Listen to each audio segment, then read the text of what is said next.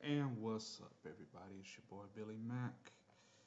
Another boys podcast for you, boys only podcast for you, where we talk about the Cowboys and the upcoming 2022-2023 season.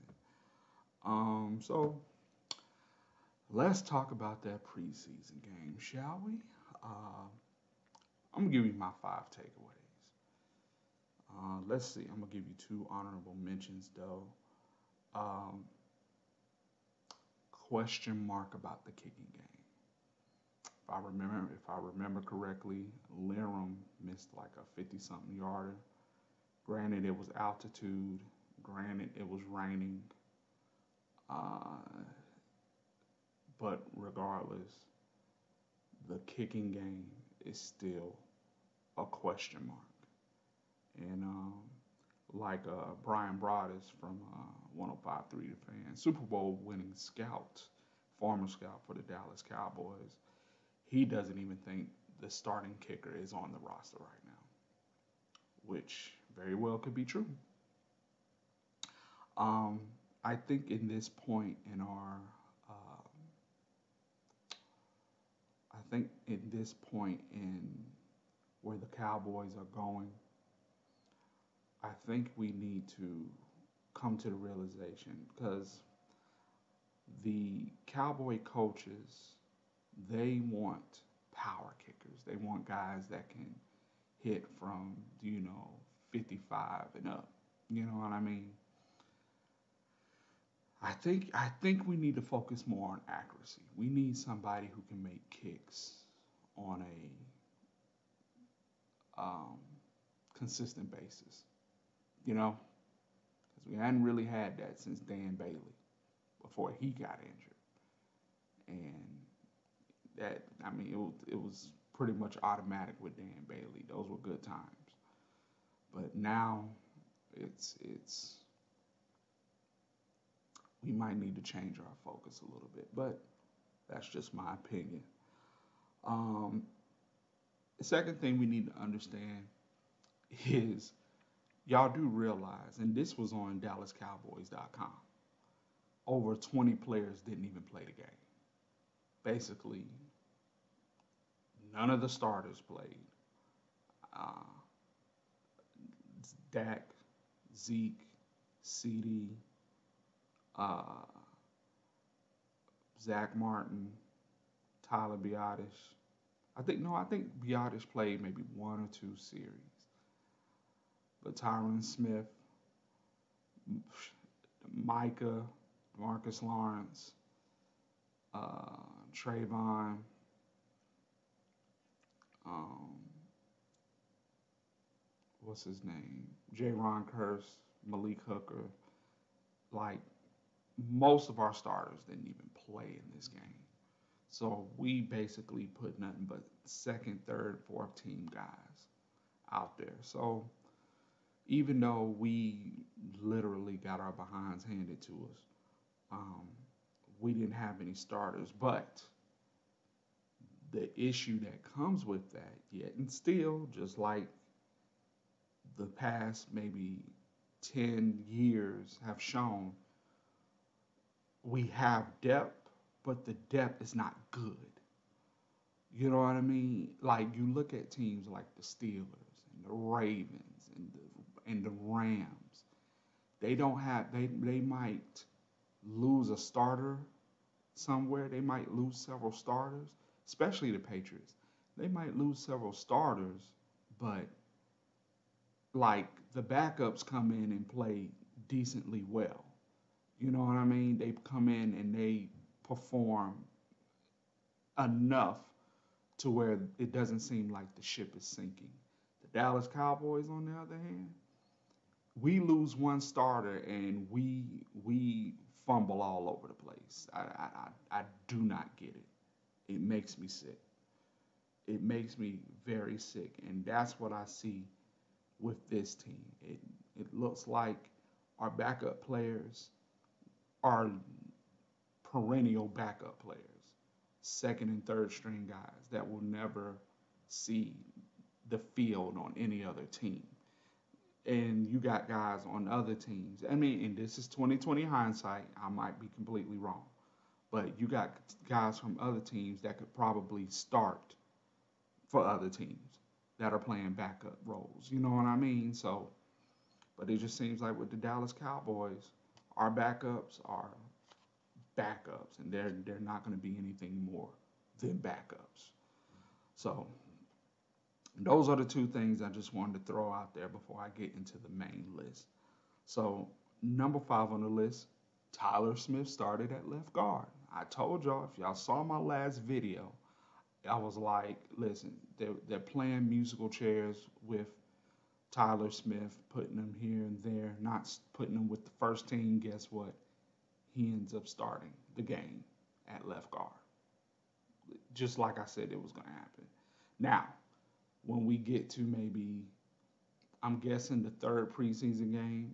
No, I'm guessing the second preseason game is going to be more of a dress rehearsal kind of thing.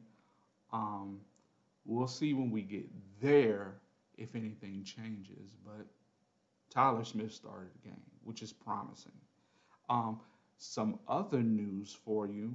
So, the reason they're doing this to Tyler Smith is because he wasn't a, you know, coach's pick.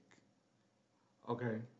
So, for those of you that are a little naive, in the NFL, not even in the NFL, in the whether it's the job force, the NFL, in government stuff, everybody has their picks. Everybody has their crew, their cronies, if you will. And supposedly, Tyler Smith was picked when in the draft. Tyler Smith was picked by Mike McCarthy and the scouts.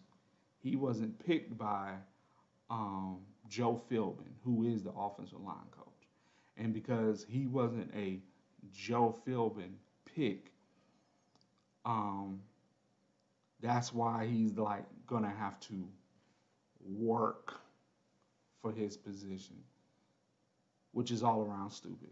He's clearly better than Connor Williams. He's clearly better than Connor McGovern. Who else are you going to put there? So I just, you know, that's basically why Tyler Smith is getting put through the rigmarole on this team. Um, secondly, the wide receiver situation. Jalen Tolbert was dropping passes. Um, Devin Hunter, I believe his name, Dustin Hunter, Devin Hunter. Um, in fact, let's look it up now. Let's look it up now. I'm just gonna go. I'm just gonna go to the game stats. Um.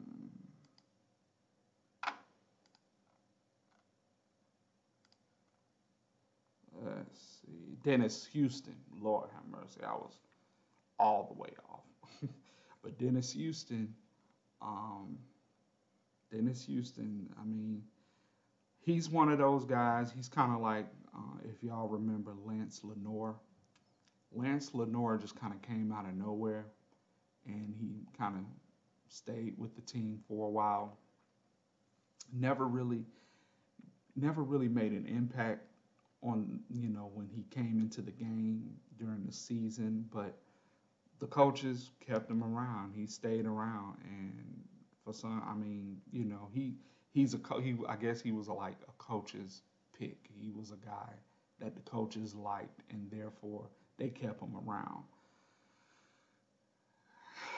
And I, the only thing I can say about that is, your your eyes tell you who's better and who who's good and who isn't do your eyes really tell you that Dennis Houston is better than the guys who have been here?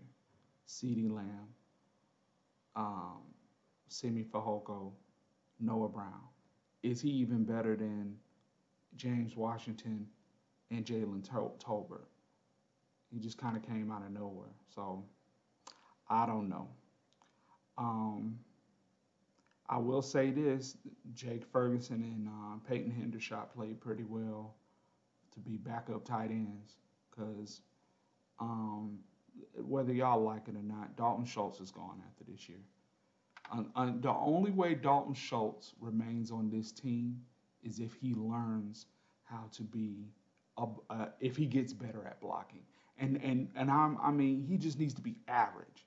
Like that's how bad he was as a blocker last year. He just needs to be average. Like, can you just be average for us? So, you know, yeah, it is what it is. can you can you just be average? Can you just be an average blocker? If you can be an average blocker, we might consider giving you 15 million a year. But even then, I don't think you're worth 15 million a year.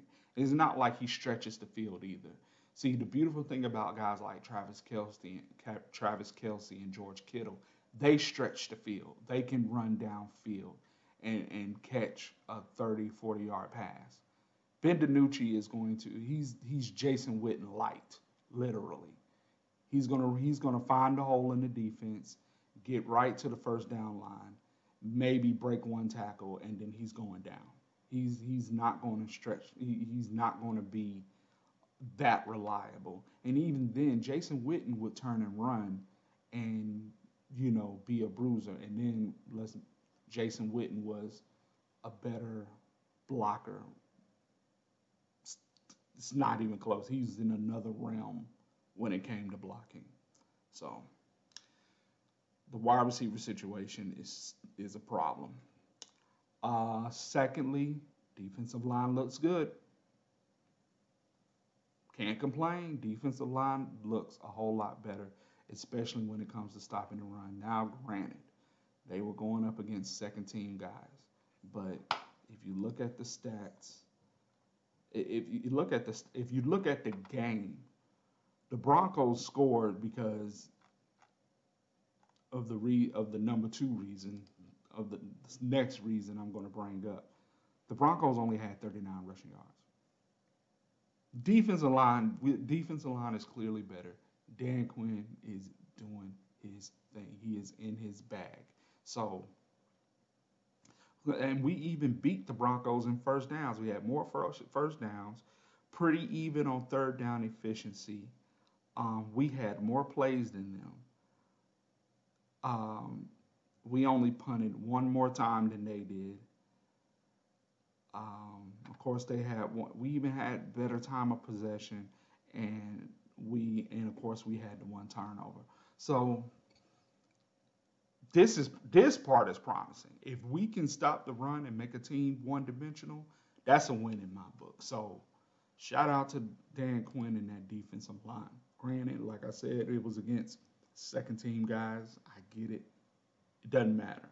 You, so preseason, we we all got a lot of NFL experts that they'll say don't put a lot of stock in the preseason. I put I put not a lot. The preseason is like a penny stock. Put some in there and hope for the best.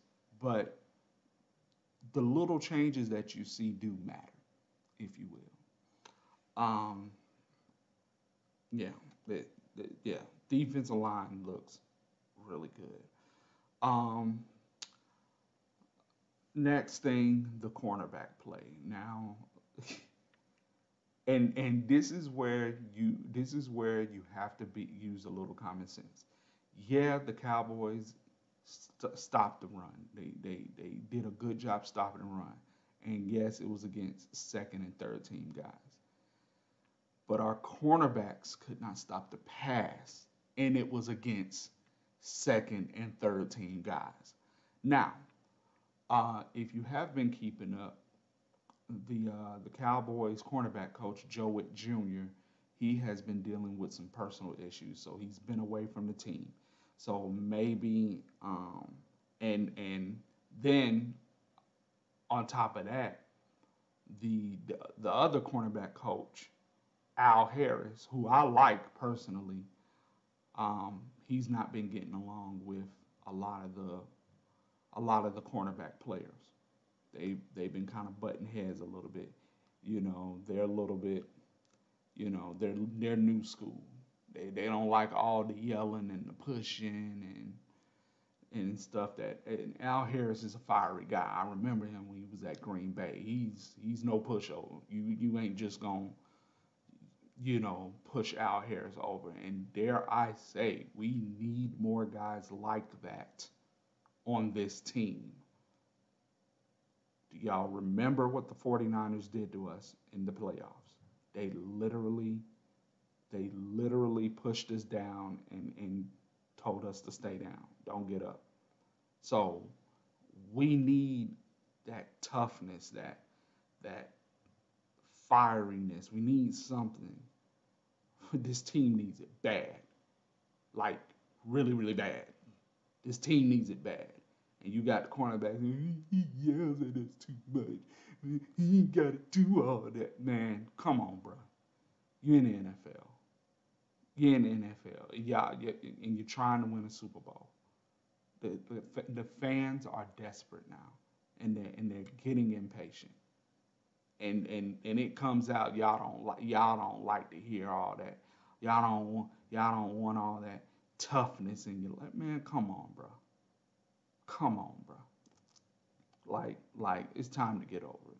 So whether it's coaching or whether the players are just you know, weren't trying hard. I don't know. But and then when Nahshon Wright, I mean, come on, bro. Nahshon, come on, man. You you are the you, let me see. I think you're like six two. I think you like six two. Dude, you six four, one ninety. You six four, one ninety. You should. I mean, granny, you might. Uh, Oh snap! His birthday September 23rd, same as my mama and and my mom and daddy's anniversary. Um, but bruh, come on now, like, what was your 40? You ran a 4-4. I mean, so, um, but still, what was your what was your three cone? Seven not seven one. That's pretty good. It's pretty good. So I don't know. I don't know, but he um he got torched. He got torched. And I wish there was a way I can get the all 22. You know, a lot of people, I harken back to the game against the Raiders last year. Anthony Brown just, they picked on Anthony Brown that whole game. But if you look at the season, Anthony Brown was probably the best corner. Trevon was was making interceptions, but Anthony Brown was holding down his side of the field all season long.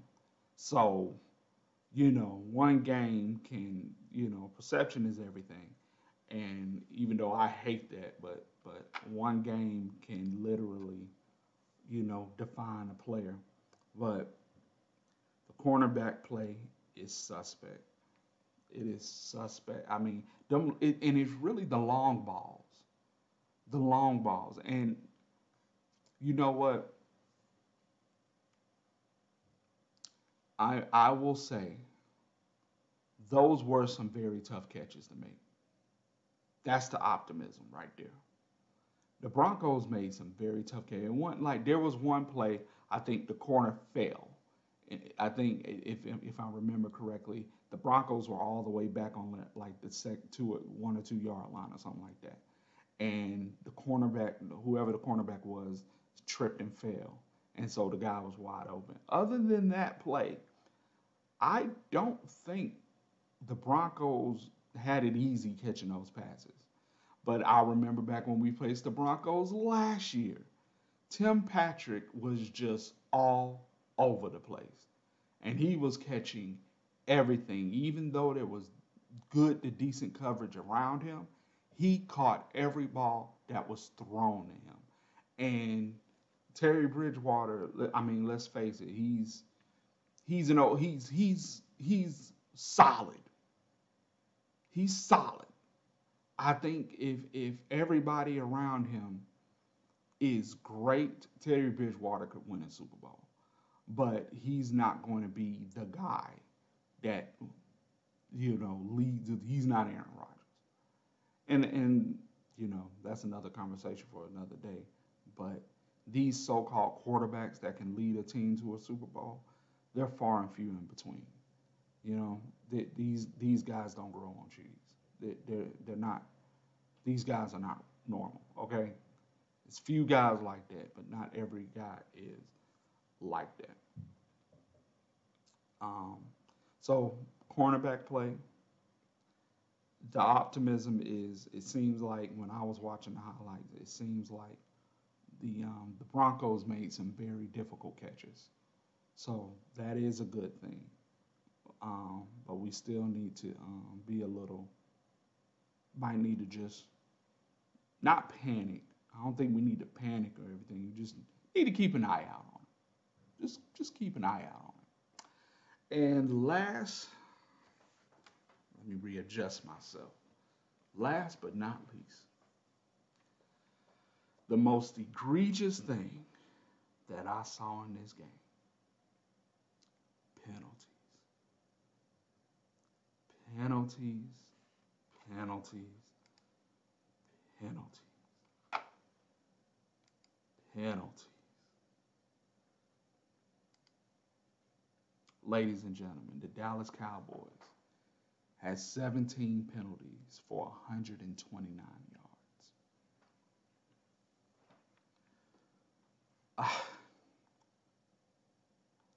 You know, um,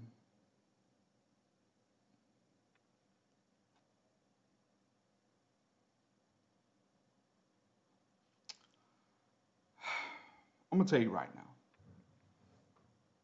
we can probably make it to the NFC Championship game.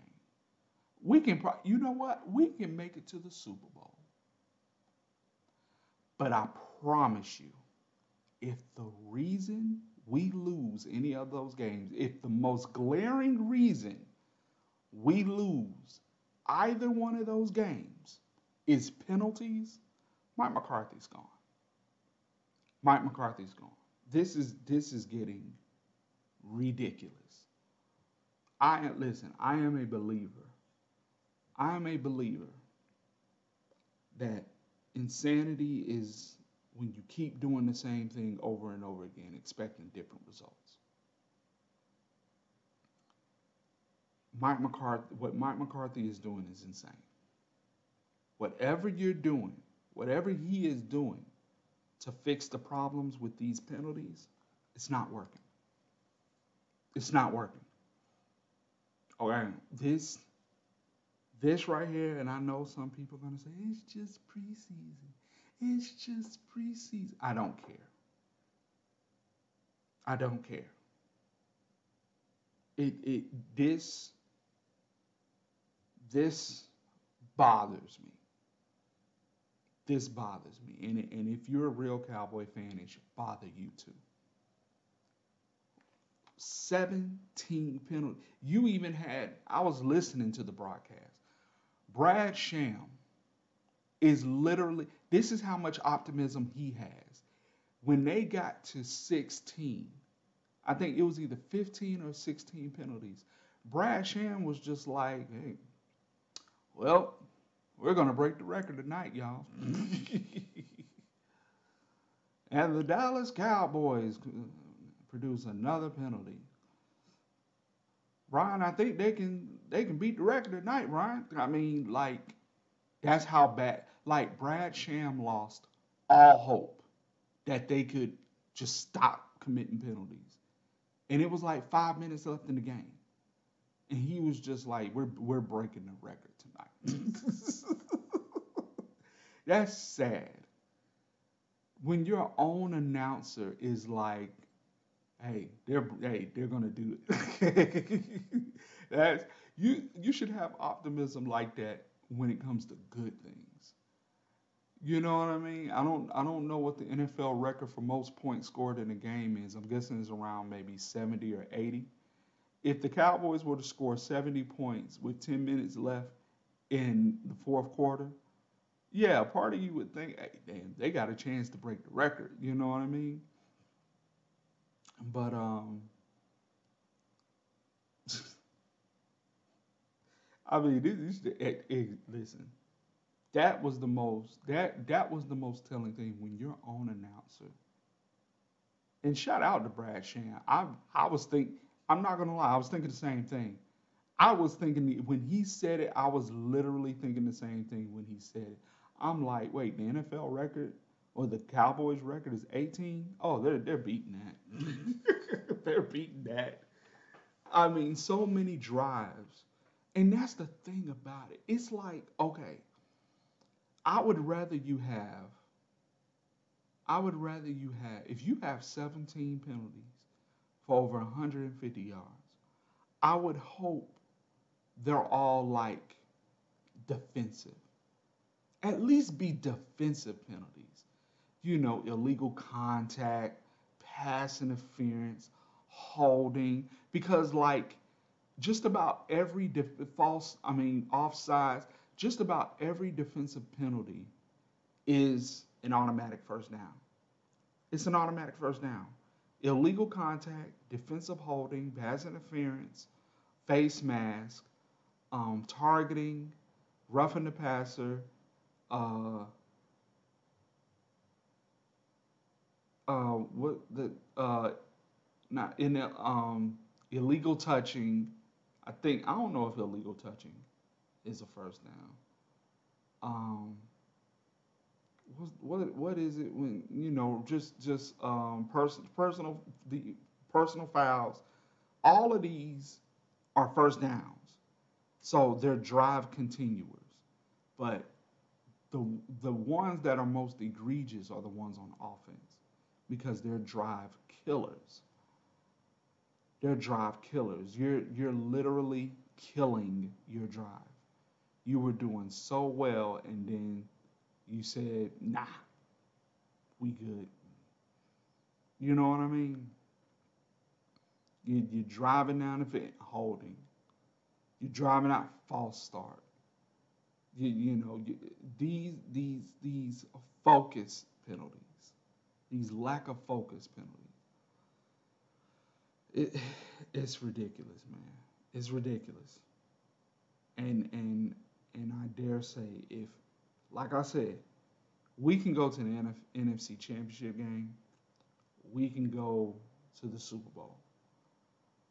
If these guys, if they lose those games, and and a glaring reason we lose those games is because of penalties, especially um, progress stopping penalties, lack of focus penalties.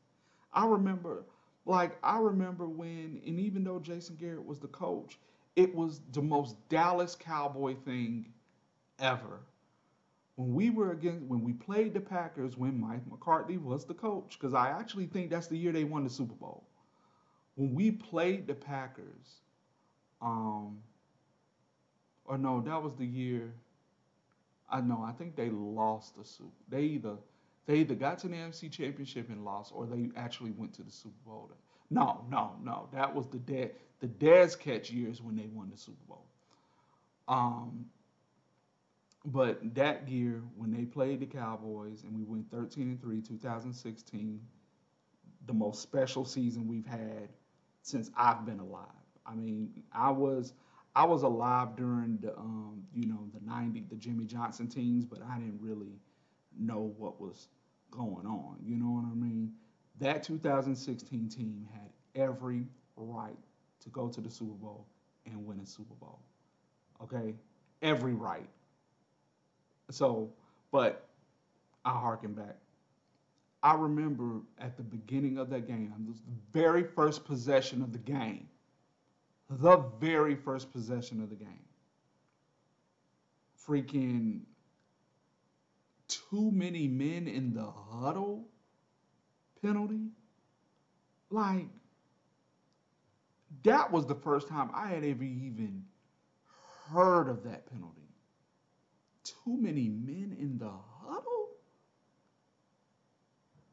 And it was the it was the most Dallas Cowboys penalty ever. Too many men in the huddle too many men in the like too many men in the huddle. Like that penalty itself was just the most egregious thing I had ever seen in my entire life. ever heard in my entire life. And so, yeah, it, it, it's wild. It's just wild. But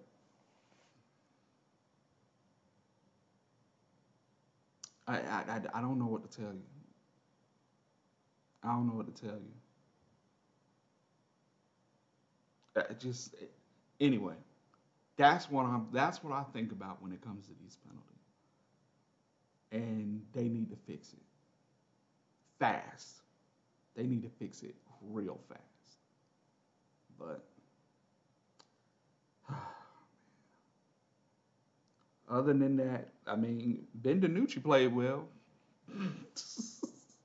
we had to rely on Ben DiNucci. I wish Will Grier was able to get into the game because um, we would have really got to see. Because supposedly there's really a quarterback comp- a backup quarterback competition. We're really trying to see is Cooper Rush the guy. And I've always liked Cooper Rush. Um, I remember his, I think it was his rookie season. He lit the preseason up like he w- he would have been trade bait. Like he really would have been trade bait that year. Um, first two years in the league, he lit the preseason up, and then I don't, I just don't know what happened. I, I don't know what happened after that. But um, there is a legitimate quarterback battle at, at the backup quarterback spot. But we shall see. Let me let me I'm going to do another video on the preview of the next um, preseason game. Let me see who we face. We play the Chargers, and I actually think we're going to have another joint practice with them also. So, so that should be fun. That should be that should be cool. And um, yeah, I don't think there's any other cowboy news out there. Let me go to the website because I'm, I'm 30 minutes. I'm at 30 minutes, so I'm not gonna waste you all's time anymore. Uh, let's see. Yeah, questions and concerns. Um, time for Tyler Smith show to begin. Yeah, yeah, nothing. Yeah, nothing, nothing, nothing to write home about. But it is what it is. Hopefully, hopefully they get better with these penalties. Uh, defensive line looks good. questioning the wide receiver situation. Cornerback play needs to be a little bit better. And I mean, Tyler Smith looks pretty good. So it's your boy Billy Mack we will holla at you next time and check out my I will have a video up at the end of the week to preview the game against the Chargers. It's your boy Billy Mack. I'll holla at you next time. Peace.